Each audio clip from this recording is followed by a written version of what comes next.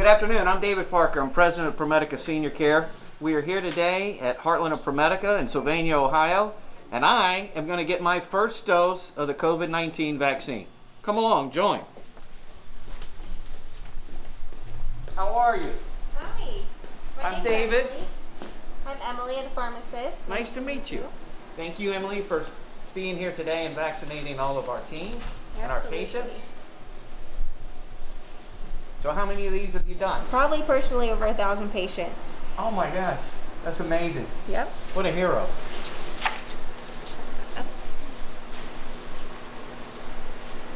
Here we go, dose one.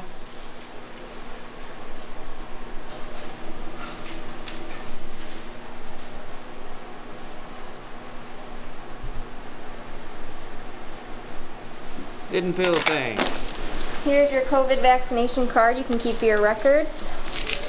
All right, we're gonna go sit for 15 minutes and make sure that I don't have any complications. Thank you, and thank you for all your work. Yes, thank you. All right. For everything that we've seen throughout this entire pandemic, the lives lost of our patients, the difficulties around them being isolated and not seeing their family members for 10, 11, 12 months, the fact that we've lost 12 of our coworkers to COVID. Now's the time that we have to bond together. We have to step up. We have to trust the science. We have to take the vaccination. All right. It's official. Get vaccinated. Take the shot.